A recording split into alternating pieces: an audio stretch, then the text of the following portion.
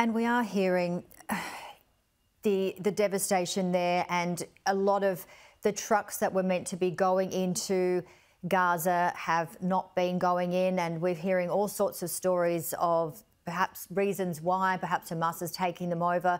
Uh, regardless of why, the reason at the moment, or the situation I should say at the moment, is the lack of supply and medical equipment, food, and the like. What is um, Save the Children doing specifically in that situation? No, absolutely. And as I mentioned, denial of humanitarian assistance is a grave violation against children's rights. So let me be very clear about that. And what we have been able to do is uh, at the beginning of this uh, this war to find some suppliers still in Gaza itself um, that were sitting on, um, you know, I mean, it, it, it, this was a city, right? So so there were stocks uh, available. So our incredible supply team managed to find some of those stocks. We bought them up, um, helped distribute them to the most vulnerable in, in Gaza. So this is water, food supplies, but it is tiny. So what we were able to do was around three, basically supporting about 3,000 people.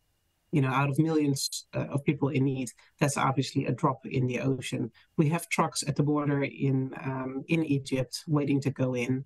Um, as you well know, uh, the trucks are are dripping in, um, are mostly stopped. Um, so we are as prepared as we can be uh, to scale up and to support as many people uh, in need.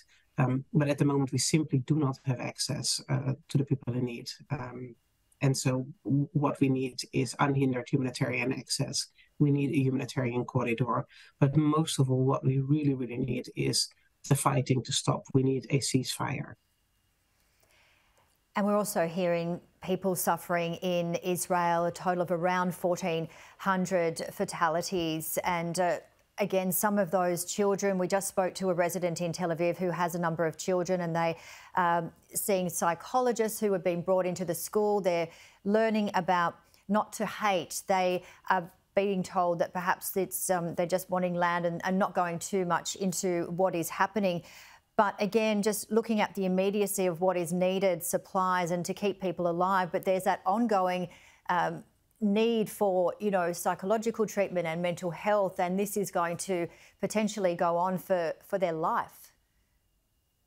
No, absolutely. The I mean, at the moment, of course, we're really, really worried about the survival of children, um, but the ongoing psychosocial um, trauma that children uh, are facing uh, Palestinian children and Israeli children, and also um, you know children outside of um, of the immediate vicinity of Israel and Gaza. There are people in uh, all over the world um, that are that are currently facing um, discrimination based on, on on their background, and that is not okay. A child is a child wherever in the world they live, and they have rights wherever in the world they live.